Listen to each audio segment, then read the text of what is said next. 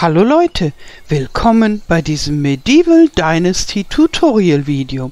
In diesem Video geht es um Heilpflanzen. Und zwar gibt es im Spiel zwei Heilpflanzen, äh, die ziemlich durchschlagende Effekte haben. Ähm, am einfachsten zu erkennen ist das Johanniskraut. Das findet man im Frühjahr, Sommer und Herbst. Die andere Heilpflanze übrigens auch und ist erkennbar an den gelben Blüten und es wächst so mittelhoch. So ähnlich sieht das auch in echt aus. Und das kann man sammeln. Das wiegt nicht viel im Inventar, das ist ein Vorteil. Man kann das verkaufen, normalerweise für zwei Gold pro Stück. Das heißt, da kann man mit wenig Gewicht äh, relativ gute Verdienste haben. Aber das Wichtigste ist die Fähigkeit, gegen Vergiftung zu helfen. Wenn man beispielsweise unreife Beeren gefressen, äh, gegessen hat oder rohes Fleisch. Nein, das ist hier eine Wegwarte, das ist kein Johanniskraut. Ähm, man findet das Johanniskraut auf Wiesen und auch auf Lichtungen von Wäldern. So, jetzt haben wir hier so ziemlich alles abgegrast. Und ja, was auch giftig sein kann, sind giftige Pilze im Herbst, nur manche Sorten. Und wenn man sich da vergiftet hat, kann man ein Johanniskraut essen und wird dann geheilt. So. Und dann gibt es noch den Breitwegerich. Der ist mindestens genauso wichtig, aber viel schwerer zu erkennen. Äh, ich greife mir hier mal schnell den Stein, sorry.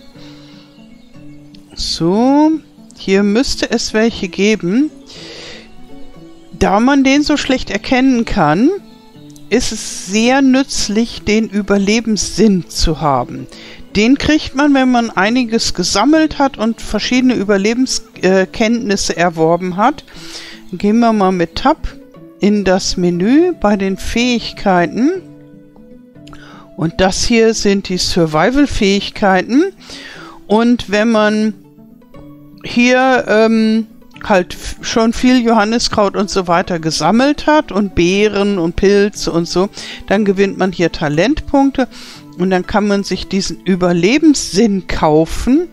Den habe ich gekauft und darum kann ich den auch nutzen. Den zeige ich euch jetzt mal. Wenn man jetzt die Alt-Taste drückt, dann sieht man in Gelb die Heilpflanzen. Da hinten das ist alles breitwegerig. Ich guck mal, ob wir hier auch... Da sieht man auch noch Johanniskraut und da ist auch breitwegerig. Das strengt aber an. Und darum darf man das immer nur kurz machen. So, jetzt gucke ich noch mal ganz kurz. So, hier hat er sich versteckt. Wir sehen ihn gar nicht. Aber wir wissen, es gibt hier mehrere. Und ich hoffe, dass wir gleich nochmal einen finden, den man schön sehen kann. So. Da gab es auch noch Johanniskraut, das brauchen wir jetzt aber nicht mehr. Ähm, ich gucke nochmal. Da gab es welche. Manchmal sieht man den nämlich auch schön deutlich.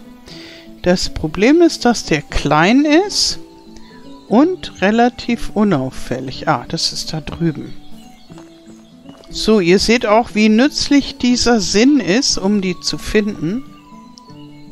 Da ist einer. Guckt, da, seht ihr es? Das ist so ein Ding mit einer Blattrosette und so bräunlichen Blütenstängeln. Gibt's auch in echt, sieht auch so ähnlich aus. Im Sommer sind diese Blütenstängel eigentlich eher grün, aber die werden dann so zum Spätsommer hin und so werden die dann bräunlich. Und der Breitwegerich ist eine kraftvolle Heilpflanze. Das heißt, wenn man vom Wolf gebissen wurde oder irgendwo runtergefallen wurde oder so, wenn man halt verletzt ist, dann muss man Breitwegerich essen und jede Breitwegerich ähm, Einnahme repariert einen, glaube ich, zu wieder zu 20 Prozent. Das kann man dann auch im Inventar sehen. Hier, mir geht's jetzt blendend. Ich habe 100% Gesundheit. Und aber wenn das unten ist, dann braucht man Breitwegerich. Und hier findet man auch Info. Der wird hier jetzt breitblättrig, breitblättriger Wegerich genannt. Und, ah ja, er macht jedes Mal 10 äh, Punkte Gesundheit mehr. Also, wenn man fast tot ist, ich meine, bei 0 ist man ganz tot, aber wenn man, sagen wir mal, nur noch 10 von 100 Punkten hat, muss man 9 Breitwegeriche essen, um wieder voll gesund zu sein. Das heißt, gerade Jäger und Abenteurer sollten bei jeder Gelegenheit Breitwegerich sammeln und den auch nicht verkaufen, sondern dabei haben. Der wiegt auch nicht viel. Ich habe jetzt 25 und der wiegt hier gerade mal ein Viertel Kilo. Und das Johanniskraut ist hier. Ähm, das reduziert den Level der Vergiftung. Die Vergiftung sieht man hier.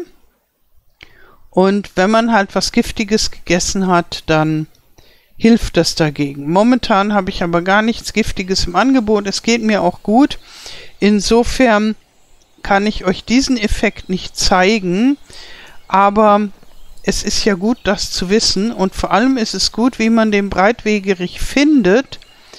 Ähm, ja, weil der ist schwer zu erkennen. Diese Dinger sind es nämlich nicht, sondern das mit diesen kleinen braunen ähm, länglichen Blütenstängeln. So, nochmal gucken. Gibt es da noch was? Ja, da gibt es noch ein bisschen was. Und wenn man sehr viel gesammelt hat, dann kann man die auch verkaufen.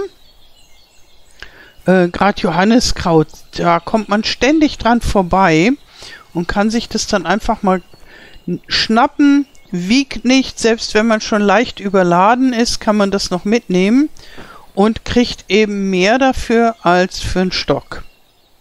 Ja, das war's zum Thema Heilpflanzen. Ich wünsche noch einen wunderschönen Tag. Vielen Dank fürs Zuschauen und alles Gute. Bis zum nächsten Mal. Tschüss.